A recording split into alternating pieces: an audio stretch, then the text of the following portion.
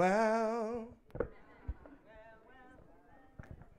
I am. Uh, I'm extremely humbled to be standing here. Um, the truth of the matter is, is that if you would ask some people who knew me some years ago, I probably shouldn't be able to put two or three sentences together, let alone be standing here in front of you today. Um, so I'm real, I'm real, real grateful. I'm gonna pray real quick. Uh, Father, we thank you for this day. Hallelujah. We thank you for your grace and your mercy once again, Lord God. We thank you for another opportunity to be of service to you. And Lord, right now I ask that you move me out of the way and that you use me any way you see fit. You call and I'll say yes. And I thank you. And if there's a harvest, Lord, I promise I'll give you all the glory, all the honor, and all the praise. In Jesus' name, amen. Um, so I, uh, whoo, I tried to talk God out of this. I did. I really did. I tried to talk God out of this, and um, I, I want to say thank you to to the leadership who see something in me. Uh, I'm real grateful and I'm humbled by that. Um, but I tried to talk God out of it, and uh, I reminded him of all the stuff I've done. I was like, Lord, you do know who I am. And uh, he been talking to me all week. Yes, I know who you are. And then I'd have a thought about something. I said, Lord, did you see that? He's like, Yep, I saw that. I saw that. I know who you are. And I'd say something, I'd be like, dang, I shouldn't have said that. Lord, you see that? You still want me to do this? Yep, I know who you are. And uh, so here I am. And um, I'm to tell you, um, standing here and looking out uh, on you guys, I, I am humbled also by the fact that this really has nothing to do with me. Um, check this out. So I was raised in the Church of Christ. I don't know if you guys know anything about the Church of Christ, but I was raised in the Church of Christ. My father was a Church of Christ minister. As a matter of fact, the minister's wife brought me home from the hospital, me and my twin sister. And so I went from Kaiser to Church of Christ, right? So, and uh, no, for real, for real, for real, right? And uh, and so uh, in the Church of Christ, uh, when I was coming up, um, as Revival Center started and began its ministry, and, and I was around. Uh, Pastor Nutt was my high school counselor when Revival Center started, so I watched uh, people being changed right before my eyes at Hogan High School. I would go to school, man, and I would watch people, people that would I I I knew them from the streets, and I watched them change right overnight. Pow, and I was like, man, this is crazy. I watched people falling out of school. Oh, glory! it was crazy. My sister will tell you, she was there. Um, this is a true story, right? And um, but at my church, people would say, actually, they talked really bad about Revival Center. And uh, there was a time when I would say that I would never, I wasn't coming over here. Well, what ended up happening was I came over here and never left, right?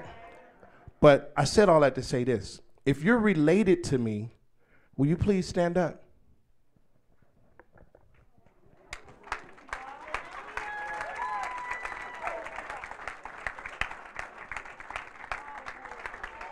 Look at God. Them was some of them people that was never coming over here.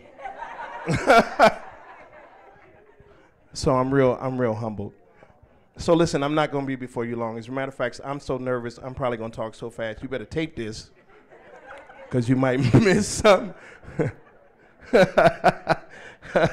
Ah, uh, yeah. So um, listen, I have a subject for you. I want you to write it down. When the Lord shuts the door. When the Lord shuts the door. So I didn't bring this Bible up here for nothing. I'm actually going to use it. Amen. I watch Joel Osteen sometime on TV. He's a great speaker. And I, but I'll be waiting for him to open his Bible, and he never does. He talk for a half hour, don't never open the Bible. Like, when he gonna open his Bible? So, how many went to see Noah, the movie Noah? So recently, I actually thought I already had my message together. Uh, I spoke in Marin not long ago, and, and I had done this message on love. And I was sure that God wanted me to preach that message here. I, I was sure. And so I wasn't going to write nothing. I wasn't finna do nothing. I was cool. I had my message. I talked to Sister Ivy. Sister Ivy said, Yeah, you need to do that. Right?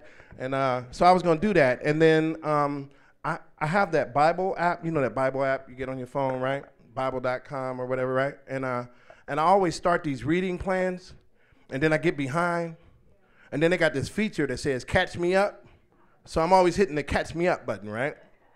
So one one night I went to read my Bible plan, and I hit had to hit "Catch Me Up" because I was behind, and God took me to this passage of scripture, this passage of scripture about Noah, right? It just happened to be I'm at the beginning of the Old Testament, so Noah, and I started reading and uh, three hours later, I was still writing, and my wife was, "What is you doing? Why don't you come to bed?" Right? Because she don't know. Like the Lord woke me up, and and I started writing, and so so this is what I'm going to share with you today. I believe the Lord the Lord has given me this word for you, and I hope that it encourages you. Uh, when the Lord shuts you in. So listen, the story of Noah is more than just a story about the flood or the boat. Uh, or even the destruction of mankind. It really also is a story about the love of God. Because God loved us so much that even though we were totally wicked, He refused to just wipe us out. Right? He wouldn't do it. He loves us that much. He refused to just wipe us totally out. So, uh, it's a story about God's love, and it's also an example of obedience to God. It's a story about three things that I want to talk about today. The first one is position. You can write that down if you're taking notes. Position. The second one is posture. And the third one is payoff. Position, posture, and payoff. Amen? So I want you to turn with me to uh, Genesis chapter 6, if you have your Bibles. And I'm going to try to move through this really quickly. So I'll read for you. It says, Now it came to pass when men began to multiply on the face of the earth and daughters were born to them, that the sons of God saw the daughters of men, that they were beautiful. And they took wives for themselves of all whom they chose. And the Lord said, My spirit shall not strive with man forever, for he is indeed flesh. Yet his days shall be 120 years. There were giants on the earth in those days, and also afterward, when the sons of God came in to the daughters of men, and they bore children to them. Those were the mighty men who were of old, men of renown. Then the Lord saw that the wickedness of man was great in the earth, and that every intent of the thoughts of his heart was only evil continually. Sound familiar? Sound kind of like something that's going on right now? Um, if you don't think so, you need to stop and take a really good look at what's going on around you. Watch the news one day. Right? They got 24 hour news, and all 24 hours of it is bad. I know, because I watch it. I do. I ain't gonna lie. Y'all be watching Basketball Wives. I'll be on CNN. Right? And um, and it's all bad. There's some really wicked stuff going on today not only is there wicked stuff going on today, there's wicked stuff that we're calling okay now. And I said we because there's many of us in the church who make it okay too. So I want to talk about that today. Um, so, uh, and he was, the Lord said, was sorry that he had made man on the earth, and he was grieved in his heart. So the Lord said, I will destroy man, whom I have created from the face of the earth, both man and beast, creeping thing, and birds of the air, for I am sorry that I have made them. Verse 8 But Noah found grace in the eyes of God. Um, so the, the, the word grace is really telling right there, right? We all know what grace means, right? It's unmerited favor, right? So it, it goes on in, in the next verse to say that um, Noah was a just man, perfect in his generations. But the fact that he found grace, unmerited favor, tells me that Noah was not perfect, right? As a matter of fact, it would have been pretty difficult to be perfect when you're surrounded by evil everywhere. Right? So I want to get that straight. We're not talking about a perfect man, but we are talking about the Bible does go on to say that Noah walked with God. Noah walked with God. Not perfect, but Noah is walking with God. God, I want to be with you. I want to do what you want me to do. I want to go where you want me to go. I want to be right, God. Even when I'm wrong, Lord, I'm sorry. I want to be right, God. Noah walked with God and he found favor in the eyes of the Lord. Amen? Amen? So the question for us today is so what Noah did was he put himself, by the way he walked, in position for God to use him. Position. How you live your life will determine whether or not you are in position for God to use you. Understand what I'm saying? How, when you go to work, are you just like everybody else on your job?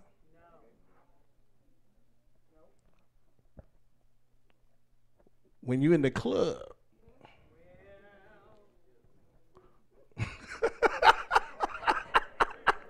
it got quiet. You can hear crickets. Who you talking about? He ain't talking about me. no,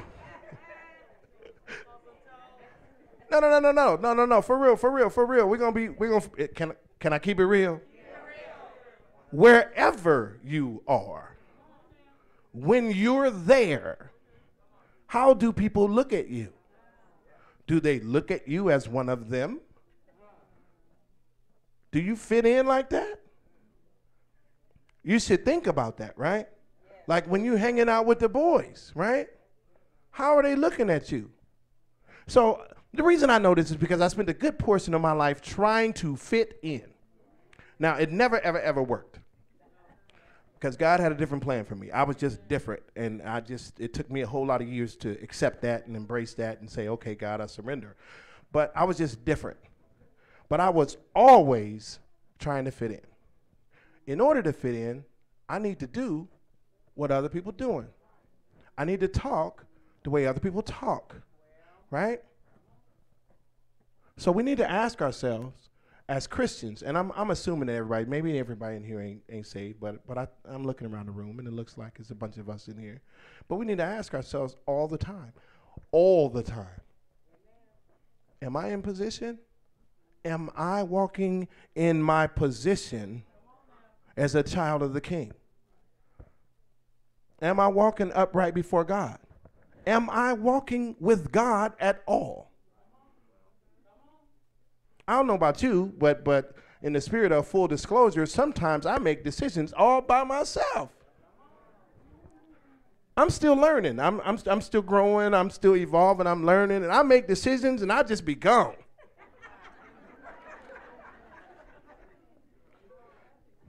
I get way down there and figure I'm on the wrong road. Right? Now I'm running. Right? I'm trying to get back. That's what the children of God do. We get back. Because we know, amen. It don't mean we don't make bad decisions or we don't you you know do that human thing, right? that human thing, right? That makes us do that kind of stuff. But but a child of God will know as soon as you get oh oh oh oh uh oh. Amen.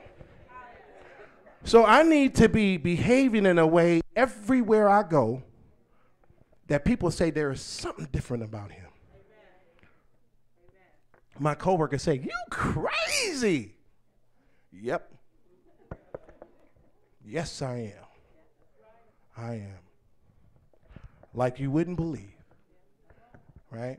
And um, and so people need to find you peculiar. If they find you peculiar, if you find yourself not fitting in, if you find that you're different from everybody else, you're probably walking just the way you're supposed to be. Amen. position. You need to be in position.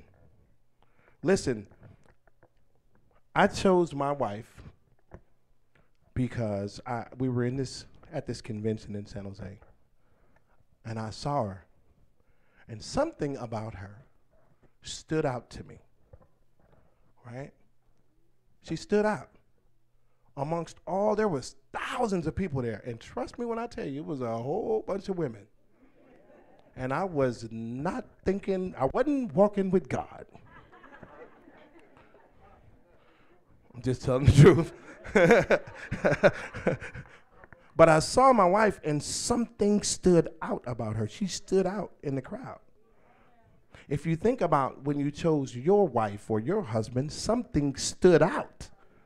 So you chose them, or they chose you. I tend to think that women choose men. That's and and then they make us think we chose them. Uh, but um, but we choose them because they stick out in some way, right? There's something about them, right? God chooses us the same way. God chooses people who stand out to Him. So we want to walk in a way that we stand out to God. Amen. So you know you, you, had to think about Noah. Not not it had to be pretty rough on him because you know here's Noah. He's God tells him this message. He don't tell nobody else. He just tells Noah, right? He tells Noah that he's going it's going to rain and, and it's going to flood and so I want you to build this boat and I want you to make it a make it a 30 of these wide and thir- I mean 30 of these high and 30 of these wide a cubit. You know a cubit is? That's what a cubit is. The measurement from here to here. Right? So 30 cubits high, 50 cubits wide, right? 300 cubits long. And he gives them all these measurements, right? And uh, he don't tell nobody else, right? So you got to think that he's in this wicked world, right? And, and there's all these people watching him doing this, including his family, who don't know nothing about what God said to him, right? Can you imagine how hard it was for Noah to get up every day and still work on this boat? Can you imagine how difficult it must have been to walk with God, right? So I'm saying that to say, in the midst of trying to walk with God, it, there is going to be some tough times. There's going to be some lonely times. There's going to be some times when, when, when, you, when you really don't want to. I'm just keeping it real. It's real difficult. You want to make the other choice, right? But what makes us stand out to God is when we make the choice to follow Him, despite how difficult it is. Amen? So we want to stand out to God. We need to be in position, right? So, uh, later on in chapter 6, um, the, the thing that really stood out to me about the story of Noah is, and they made this whole movie about Noah, but really, if you read the text, Noah doesn't say anything. Nothing. Nothing. God gives him all these instructions. And then in chapter 6, verse 22, the Bible says, Thus Noah did according to all that God commanded him. So he did. He never says a word. He never says, Lord, what are you talking about? Rain. I never seen no rain. He doesn't say anything. He just does as instructed. Right? So he doesn't speak. He doesn't question God. He doesn't talk back. The message in that. When God tells you something, just obey. Shut up. Just be quiet. Matter of fact, it's better if you be quiet because you start talking and you can convince yourself to not do the very thing that God has asked you to do. Right? So uh, Pastor Moore was talking about the job I got, and, and I almost moved myself out of position when God was trying to move me in position to get the job.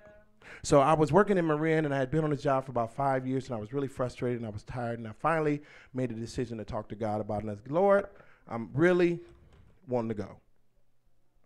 Lord said, Go. Go. Okay. So I, applied for a job. First job I applied for, they called me. Here was the catch.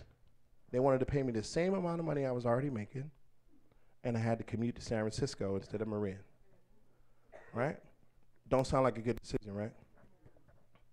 But I asked God, I said, God, uh, should I go? God said, go. Now, on top of that, it was in, working in the Tenderloin, right, on Turk Street, in the heart of probably the worst area in San Francisco. Lord, should I go? Go. Okay. So I went. Right after I went, the car broke down. So I had to catch casual carpool to San Francisco every day and then catch the bus in the BART. I mean, the, the BART down. I would walk from the casual carpool to the BART and then catch the BART down the Embarcadero and then walk up to my job. Now, the cool part was it only cost me $6 a day to commute, right? But I was walking in the cold and the rain, walking. Now, this is the part I need to tell you because this is different for me. I don't know about y'all, it's different for me. Every day when I got up, I would have to walk from my apartment on Carolina Street downtown to the park and ride, which is on Curtola Parkway, almost to the freeway. Right? It was a 30 minute walk, brisk, a 30 minute brisk walk. there was mornings when it was 27 degrees. Right?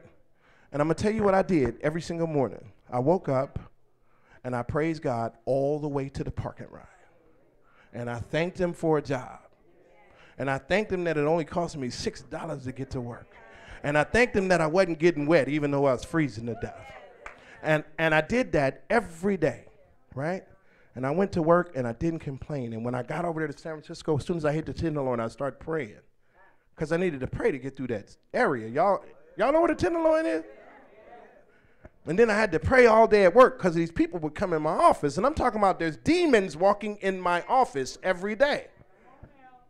And so I had to pray, and I had to pray, and I had to pray, and I had to pray. And so finally, God blessed us with the opportunity to buy a car. Actually, the only other car we had broke down too. So we had to buy a car, right? So it wasn't that I was now going to be able to drive to work I was buying a car so my wife could try to work because she blew up my car. And she was driving my car because I wrecked her car. Right? So, so, so, so we buy this car, right? We go and we buy the car. And then they tell us how much the note is. It's over $400. And so I go home. And when my wife is gone one day, I'm on my knees in the room and I say, Lord, help me pay this car note. So I don't want to say that in front of my wife. I don't want to be worried. Because if I'm worried, she's broke down. It's a wrap. It's the end of the world. so I need to keep it together. So, so three days later, the phone rings. About three or four days, maybe a week. The phone rings, and it's this guy who had been my client, right, in treatment called me and said, Hey, man, you ready? Yeah. Ready for what? Overnight, my salary doubled. Bam. And uh,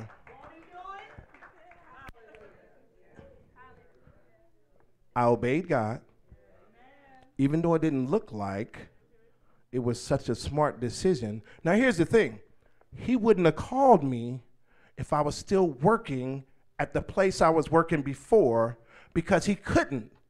He couldn't pull me from there. He had a relationship with those people. So God already knew this. So he moved me from there so I could be in position to do what he has me doing now. Position. It's important. So I want to move on. I want to talk about posture. Posture. So verse 22 says, Thus did Noah according to all that God commanded, so did he. He didn't speak, he didn't question God, he didn't talk back. So listen, sometimes when God tells you to do something or you hear something and, you, and you, you're feeling like this is what I believe God wants me to do, you need to not question him and just move. Move into action. And not worry about how it's going to work out. So that goes against everything that is human. It don't make no sense. It makes absolutely no human sense to do that. If I'm scared and my fear is telling me don't do it, that's my humanness telling me don't do it. But if I have faith in the God who told me to do it, then I have to have enough faith to, to trust that He'll work it out. That He'll work it out. So um, let me tell you what posture is. Posture is, here's a definition for you a conscious, mental, or outward behavioral attitude. A conscious, mental, or outward behavioral attitude. So we already talked about Noah and how God gives him all these instructions, and all he does is do what he's told. Nothing else. He doesn't mumble, he doesn't complain, he doesn't groan, he doesn't do any of that. He just goes into action and he does what he's told. There's a word for that. It is called obedience. Obedience. So I'm, I'm blessed to be in this wonderful class right now called Spiritual Authority with Pastor Nutt. And and I'm taking this class and and in three weeks it's changed me and my wife's life. It has completely changed the way that we operate in, in, in some ways and think about certain things. When you understand the, uh, the importance of being obedient to authority. And then, then when you understand that that there's uh, one of the things you the first things we learned in the class is there's only there's two sets of principles at work in the earth at all times. One of them is God's principles, and the other one's is Satan's principles. You're either operating under one or the other. Two sets of principles, right? And then as the class progresses, and you start to realize uh, some of the things that are, are underneath Satan's principles, you're like, oh my God, I'm the devil. I mean, but you really, and, and, and, and, and it does exactly what it's supposed to do if you are a believer in Jesus Christ convict you. Convict you and move you to action. But, but what we're learning is how important obedience is and, and where it will lead you. So, what Noah did was take on a posture of obedience. He didn't talk, he just did what he was supposed to do he did what he was told. He postured himself in obedience. A posture of obedience. Write that down. We need to have a posture of obedience. We need to position ourselves by walking with God, and we need to maintain a posture of obedience. Now, sometimes obedience means um, obeying people you don't like. So the other thing that we learn in spiritual authority is right a, a, there's a huge amount of authorities. Like everybody's under authority, and everybody that's in authority is under authority. You can't be in authority without being under authority, right? So uh, there's some people that work for me, right? I work for somebody. He worked for somebody, and he worked for some people, right? And those people answer to some people, right? So there's an authority. Ultimately, the authority for us is God. So what we have to do is trust that God, who puts people in authority, right, knows what he's doing. Right? So when you're obeying your boss who's telling you something and you don't want to do it because you don't like him anyway, right? And you should be in his job because you could do it better than him, right? All of that stuff is coming up, right? You need to obey anyway. Because that's what God would have you to do. And you need to never undermine his authority. Ever, ever, never, ever. Because God will do something to us for that. There's a consequence for that. There's a consequence. Our pastor talks all the time about how he had to quit a job because he undermined somebody's authority. Right? And it was real simple. He, it happened so fast, like pow, he just said something. Whoop, whoop, whoop, whoop. And everybody cheered him on. Yeah, yeah. And he knew right away that he had gone too far. So just because you can doesn't mean you should. Amen? Obedience. Obedience. A posture of obedience. Amen? So um, flip over to chapter 7 real quick. I want to get to the point here. So Noah tells, uh, the Lord says to Noah, Come into the ark, you and all your household, because I have seen that you are righteous before me in this generation. You shall take with you seven each of every clean animal, a male and his female, blah, blah, blah, blah, blah, right? And, and he takes all, tells him what to do. And so Noah and his wife, verse 7, and his sons' wives went into the ark because of the waters of the flood. Uh,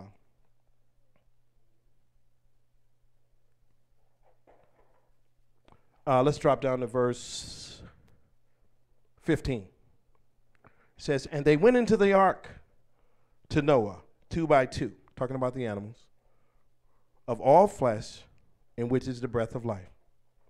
So those that entered, male and female of all flesh, went in as God had commanded him. This is the part I want you to listen to. And the Lord shut him in.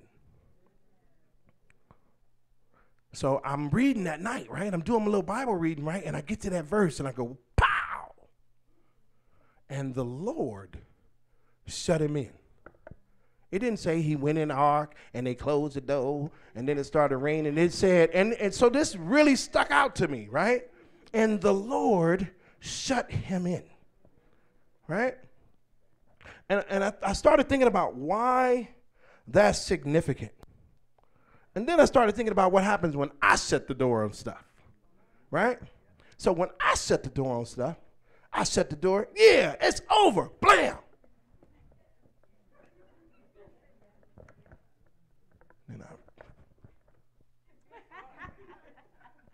Right? Or, I'm sorry, come back in, right? I started thinking about how when we shut the door sometimes, that's this is me under my own will, right? How things don't work out. And not only do they not work out, many times when I think I'm shutting the door for a good reason, I'm actually shutting the door on God. I don't know what I'm doing, y'all. I don't know about y'all. You may think you know what you're doing. But if you're operating outside of God, then you're going to have to answer to that. There's going to be some consequences to that. And normally, they're not that good. I can tell you, I've done it a lot. I'm pretty good at that. And so the Lord shuts the door. We have a tendency to want to open the door again or look back or go back to where we came from or let the very people in that should be outside. Right? Maybe the door, maybe the Lord did tell you to shut the door. But you open it back up and let dude up in there. He didn't tell you to bring him in and shut the door. He didn't tell you to bring her in and shut the door. He said, shut the door. Obedience. But it says the Lord shuts the door. Listen, if God shuts the door, he can be on the outside, shut the door, and be on the inside with you too. You need to think about that for a minute. He can shut the door on the outside, seal it up so nobody else will get in because if he shuts the door, it's shut. Right? And be on the inside with you. So he shuts the door, right? And Noah and his family and all these animals, oh, I can't imagine being in there with all the animals. I don't even like going to the zoo. And them animals is outside. Can you imagine me being inside? And there was one window. And I just told you the door was shut.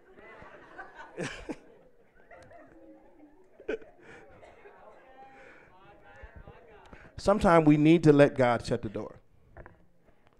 This came up for me the other day, actually. I think I posted it on Facebook. If we let God do the fighting for us, right? Then we don't have to never worry about losing, and we don't even have to break a sweat. Nothing to trip on. Let God shut the door, right? So uh, this is significant for a few other reasons. What came up for me is that uh, what this kind of signified for me is uh, sometimes um, God needs to move you. God needs to put you in position. He needs to move you. He needs to get you away from where you are, or maybe who you're with, or who you're around, so that He can use you for His purposes, right? Uh, and when God wants to remove you from a situation or a thing, we need to just obey Him and allow God to close the door. You don't need to worry yourself about how the door will be closed, nor how the next door will be opened. So think about Noah's going in here and God closed the door and now you're in his boat. Oh, we don't know how we get out. They never, you never read a word about Noah complaining. Now I'm sure his family did. I am sure his wife did. I know if it was my wife, after four today, after after four hours, I'd have been begging God, please let me out this boat.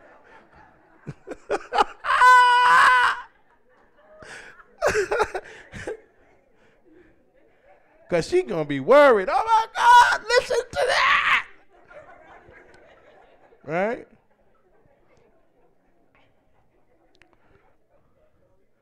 But again, we need to maintain an obedient posture when it comes to the things of God. Listen, here's the other thing. I got to, I got to thinking about how Noah, here was Noah, right? And he's in this environment with all these wicked people, and he gets this word from God to build the ark, and he builds the ark. Uh, and overnight, God calls basically this supernatural event to happen that totally changed not only his life, but his family's life and the course of history. Listen, God is able to take your situation that you're in right now and do something so spectacular that you never thought could happen and change your circumstance from what it is to what it needs to be in an instant. In an instant. When we position and posture ourselves. So that was the key. He positioned and postured himself in obedience. And because of that, he was able to bring about this supernatural thing that happens. So, um, so we need not put limits, and we've heard this over and over in this church. We should not put limits on God. That this is the God that raised Jesus from the dead. This is the foundation of our Christian belief, right? And if we can believe that God raised Jesus from the dead, why do we not believe that can re- he can raise up our raggedy relationships? Why don't we believe that he can uh, bless us with a job? Why don't we believe that he can pull us out of those situations that we whine and complain about all the time?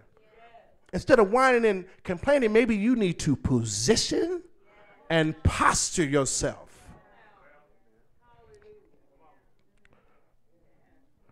Listen, all heaven or hell can be breaking loose around you.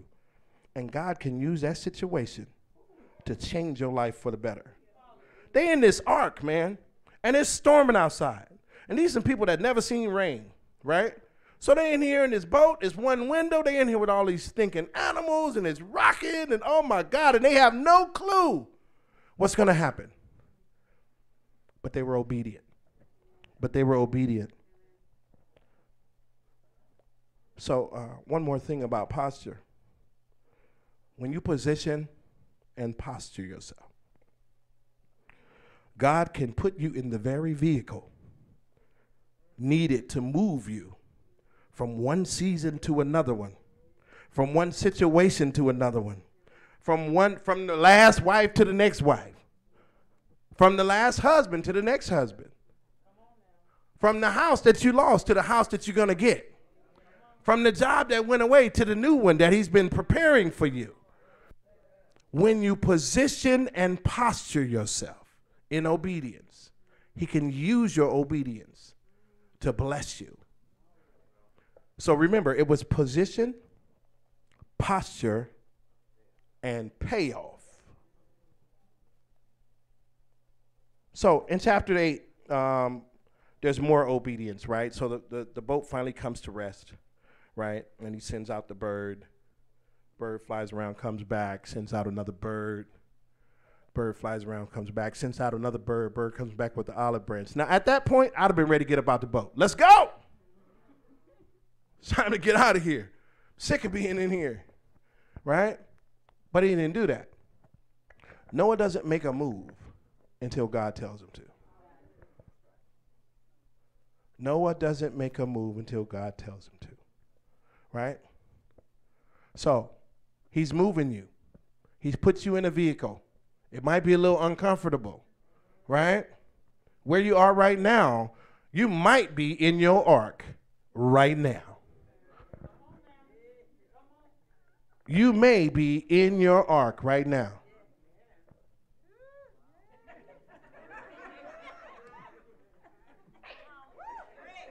Feel like that? Right now. It ain't cool. All hell is breaking loose. All hell is breaking loose. But if God shut the door, you can best believe that you're headed for your payoff. See, there's some benefit to obeying God. Amen. So so Noah doesn't do anything without being instructed. We need to pay attention to that. Sometimes we want to jump the gun. I do. One time, this old man told me that. I got in this relationship, and he called me in this office. He said, Sit down, son. Sit down. Sit down. You know, I thought I knew what I was doing. Sit down. He's about 80 years old. And he looked at me. He said, You know, you're pretty sharp, but you make your move too fast.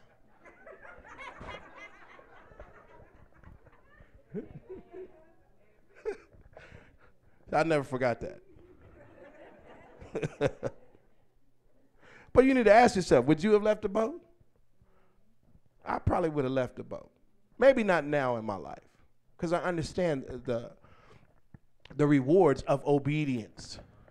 I understand uh, how, how, what the payoff is for obedience. I also understand the consequences of disobedience.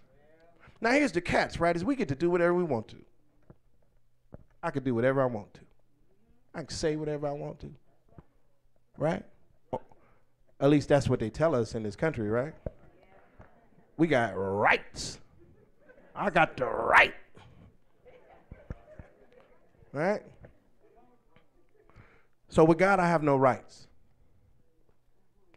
And I'm okay. I have the right not to have any rights. I have the right to be obedient. Right? I have some rights. The rights I do have, He gives to me. He gives to me because of my obedience. Amen? So in chapter 9, they go through, he finally, God tells him to leave the boat, right? And uh, so he gets out, and it says, So God blessed Noah and his sons and said to them, Be fruitful and multiply and fill the earth. And the fear of you and the dread of you shall be on every beast of the earth, on every bird of the air, on all that move on the earth, on all the fish of the sea. They are given into your hand. Every moving thing that lives shall be food for you. I have given you all things, even as the green herbs. But you shall not eat flesh with its life, that is blood. And he tells him all the things that he can do and that he cannot do. But the point is this God took Noah, who had positioned himself by walking with God, right? And he had maintained an obedient posture through a impossible situation. I really don't know that anybody in here could do what Noah did. It's just it's it's amazing that he was able to be obedient through those circumstances. Just imagine if everybody in this room was telling you not to do what God called you to do, telling you that you're wrong. These are the people you've been knowing your whole life. Maybe even your family, they're telling you don't do it. Don't do it. You're wrong. You're wrong. You're wrong. You're wrong. Right? Could you obey God? Would you obey God? Well, let me tell you what the benefit is of obeying God. So, not only did God bless Noah? God blessed his children and anybody connected with him. All of his family. As a matter of fact, Noah, everybody in here is related to Noah. God used Noah to repopulate the whole earth. If that's not a blessing, God started all over with one man who was in position and postured himself in obedience. Listen, God wants to bless us. He wants to bless us. We read it over and over and over and over and over and over and over again. He wants to bless us, right? Many times we blow off our blessings because of our disobedience. And because we refuse. Listen, I, I, just told you there's no way I would have. Let, let me tell you one more thing and then I'm, I'm going to be done in a minute. So in December, my the executive director, the same guy who hired me, got angry with me about something. Something happened at my facility, and somebody else got involved. And then by the time I reported it to him, it was a couple days later, and nothing came out of it. But it was something that was pretty serious, and so he was angry. He was angry with me, and uh, so in his anger, he decided that um, he was going to make a woman who was uh, a direct report to me my equal, and he was going to cut my pay $10,000. Right? And uh, so I'm like, uh, so he tells me this, right? No, he didn't tell me. Somebody else told me. This human resources guy, right? Tells me. And so I go talk to him, right? And I say, hey, listen, uh, I heard about what you said, um, and I, I hear what you're saying. He was saying basically that we were going to s- split the duties in the program, right? Me and this lady. And so that was his justification for doing what he was doing. And, uh, and I said, I hear what you're saying, but if you really take a look at what you're saying, it's, that's not actually what's happening. And so I'm going to continue to do all the work, and you're going to cut my pay. But he was angry, right? So anyway, it didn't happen. At least not right away. Right? So sometime in January, was it January? Later in January. This was like early December before Christmas. Like middle of January or something. I'm in his office and it's payday, right? And I'm having this conversation with him and he's talking to me and he's saying stuff, don't worry about it, man, it's gonna be cool. And I don't know what he's talking about. I have no idea. That's because I hadn't picked up my paycheck. So I pick up my paycheck and they cut my pay, right? So when I'm having this conversation, I didn't know anything about it, right? And as soon as I got the paycheck, God said to me, Don't say a word. Do not say nothing about this money. Don't say a word. Don't go in there begging for no money. He said, You're still making way more money than you was making. Don't worry about it. I got you. Right? And he did. It's not a big thing, right? So so I've been I was able to obey. By the grace of God, I was able to obey. I didn't say a word. And I told my wife I wasn't going to say a word. And she was like, I would go up in there and I would tell him, and you need to talk to somebody, and they need to give you your money back now.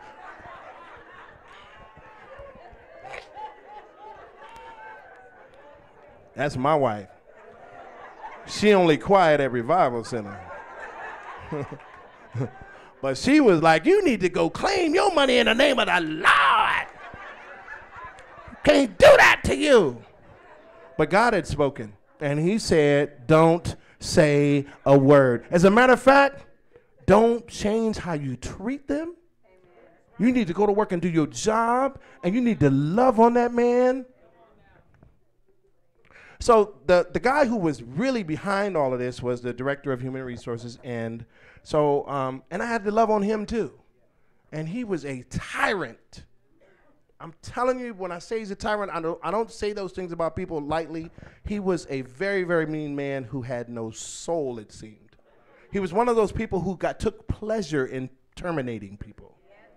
I watched him do it. He did it right in front of me. He used me to set somebody up And then he terminated them with me sitting there after telling me that what he really was going to do was offer them a job. And so I'm sitting here thinking we're going to offer this guy a job, and he hands him his last check. So this is the guy I'm dealing with. And God is telling me I got to love on him. And he didn't took my money. So I did. I did. I would love on him. I would say kind things to him. Um, I would continue to do my job.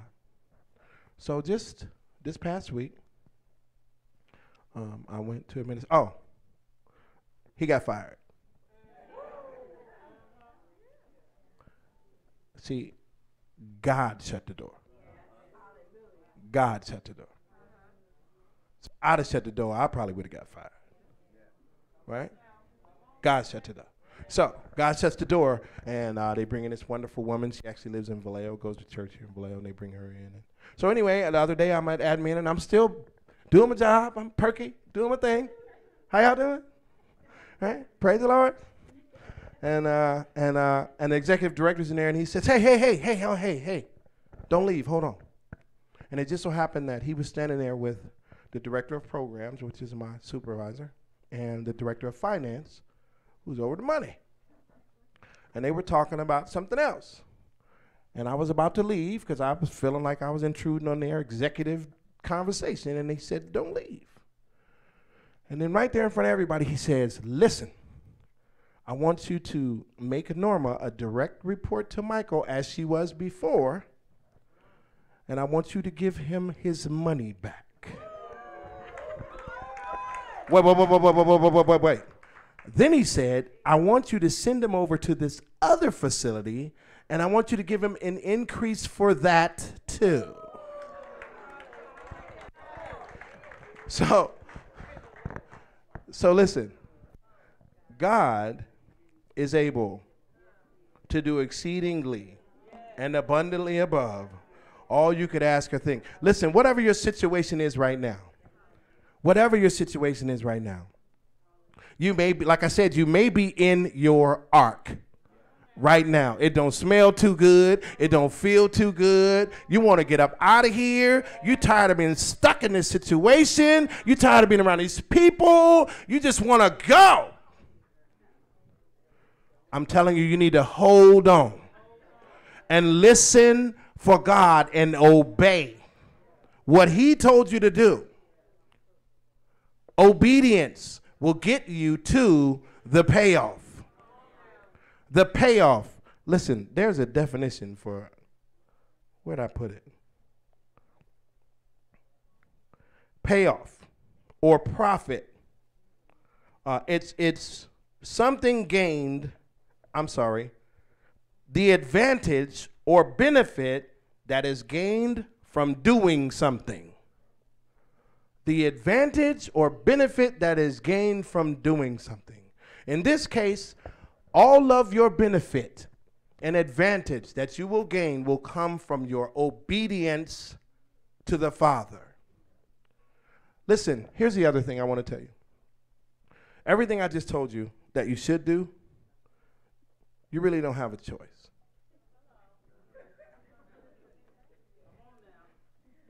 As children of God, we don't have a choice. We're called to this. You don't get to walk around and act any way you want to think you want to act. You just don't. I mean, don't get me wrong, you can. You can do whatever you want to do. But you need to understand that there's going to be some consequences and some repercussions to your actions. And what you really do is uh, doing is blocking the very blessings that you get on your knees and ask God for every single night. The other thing I, I, wanted to share with you before I close, and I didn't want to share this, but God told me I need to. So I told you about how not only uh, my, does my obedience affect me, but it affects everybody around me. So when my pay got cut, my wife felt like her pay got cut. She acted like it too. She was talking like it too. So when it got increased, she was hallelujah, glory. Look, I told you not to say nothing.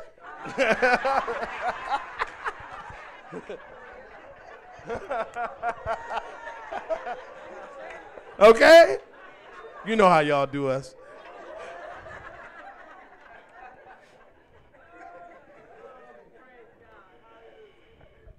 So, um, we're called to be obedient. And so, the night, true story. So, the night that I stay up and I write this, I go to bed and I'm asleep. And I have this really, really strong dream. And it's about obedience. And it's about, so I'll tell you the dream. I didn't want to share this, I really didn't.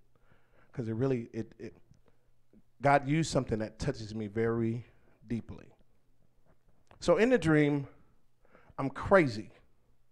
I mean, I'm out of my mind, right? And I have lighter fluid, and I'm spraying it all over myself, right? And Michaela's there, my daughter, and I sprayed it on her too. And there was some stuff on the table, and I sprayed it on her too, right? And then I have this moment of clarity. I'm like, what the heck am I doing? I'm not finna do nothing to my baby. And I sent her out of the room. Right? This is all in the dream.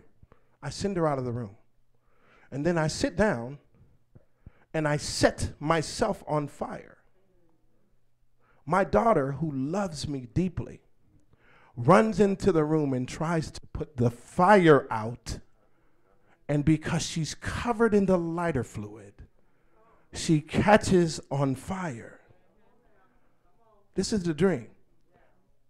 And that really affected me. You, you, know it had to because usually we forget dreams, right? This was this was a dream, and I'm sure it was from God because when I woke up, He said to me, "If you're obedient, that's what will affect her. If you're disobedient, it's going to affect her even if she doesn't see you do it." My daughter did not see me like that flame. I sent her out of the room. But she came around the corner and saw me on fire.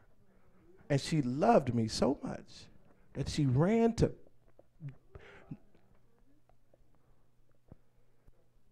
So we affect everyone about around us with either our obedience or our disobedience. Even if they don't see you being disobedient. So I've done a lot of things in the dark, right?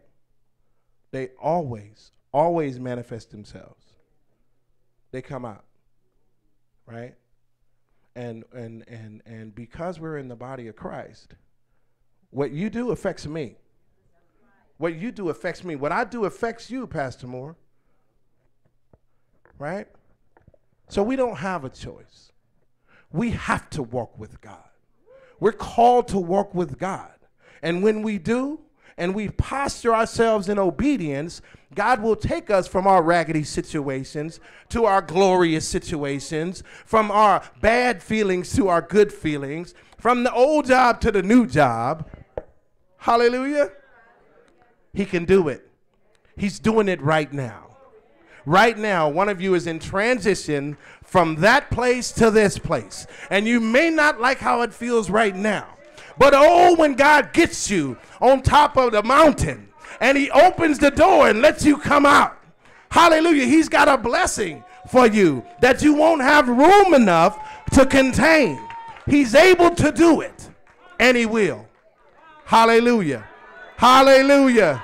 Hallelujah. Hallelujah. Hallelujah. I don't know about you, but I get excited when I think about what God is doing in my life. Hallelujah. Hallelujah.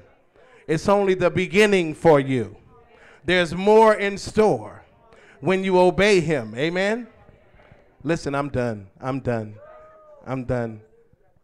Uh, if there's anybody here tonight uh, and you've never given